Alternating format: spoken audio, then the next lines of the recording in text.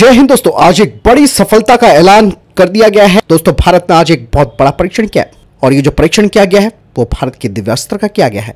प्रधानमंत्री नरेंद्र मोदी ने इसका ऐलान कर दिया है और कहा कि मिशन दिव्य अस्त्र के लिए हमारे डीआरडीओ के वैज्ञानिकों पर गर्व है। आपको बता दें कि ये multiple independently target re-entry vehicle यानी कि एम टेक्नोलॉजी के साथ टेस्ट किया गया है, जो की अग्नि फाइव का पहला उड़ान परीक्षण है। अब यहाँ से दोस्तों, भारत की आगे की जर्नी शुरू होगी। इससे यह सुनिश्चित होगा कि एक ही मिसाइल को अलग अलग स्थानों पर कई युद्ध मोर्चों पर तैनात किया जा सकता है। खास बात यह थी कि इस परियोजना की जो निदेशक है, वो एक महिला थी।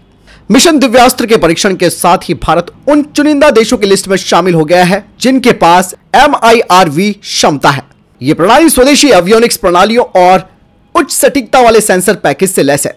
यानी कि दोस्तों, भारत की अग्नि फाइव मिसाइल अब multiple M I R V technology से लैस हो चुकी है, यानी कि इस मिसाइल से एक साथ कई जगहों को निशाना बनाया जा सकता है। और आप सब जानते हैं कि अग्नि फाइव मिसाइल भारत की टैक्टिकल मिसाइल है, और इस टेक्नोलॉजी से भारत की दुश्मनों की सिट्टी पिट्टी ज़रूर गुम होगी, क्योंकि ये टेक्नोलॉजी कुछ ही देशों के पास है। और अब इस MIRV टेक्नोलॉजी का भारत ने सफलतापूर्वक परीक्षण कर लिया है, जिसके लिए हमारे वैज्ञानिकों को इसका बड़ा श्रेय जाता है। जो कि देश की रक्षा को मज़बूत बनाने के लिए दिन रात काम कर रहे हैं। और यही वजह है कि इस दिव्यास्त्र का जो टेस्ट किया गया है, वो कहीं ना कहीं दोस्तों, दुनिया में भी भारत को एक अलग स्थान पर रखता है। फ़िलहाल आपको क्या लगता है? कमेंट सेक्शन में लिखकर ज़रूर बताएगा मिलता हूँ जय हिंद मातरम।